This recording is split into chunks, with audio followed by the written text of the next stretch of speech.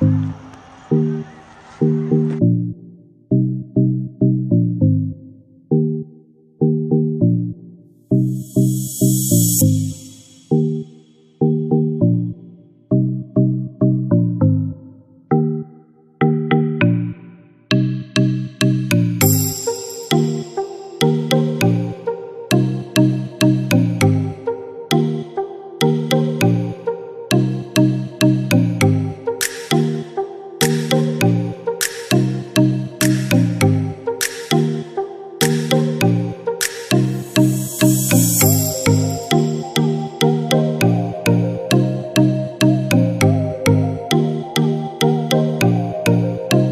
करने का तीन स्टेप है। पहला ये स्टेप ये है कि हमें बॉल दम सीधा पकड़ना है, दम बराबर बॉल के बीच बीच और दूसरा स्टेप है कि बॉल हमें बराबर उसी हाथ से घुमाना है बॉल को स्विंग करना है।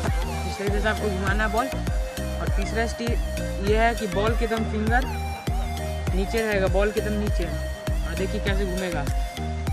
देखिए, यही है, आराम से आप घुमाना है। ना ये देखिए सब घुमाना तीसरा स्टेप यही है। आपको ये तीन स्टेप पे बहुत प्रैक्टिस करना, आपको बहुत जल्दी आ जाएगा स्विम करना।